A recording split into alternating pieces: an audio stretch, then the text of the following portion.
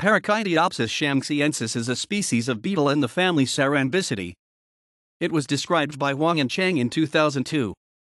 Equals equals References equals equals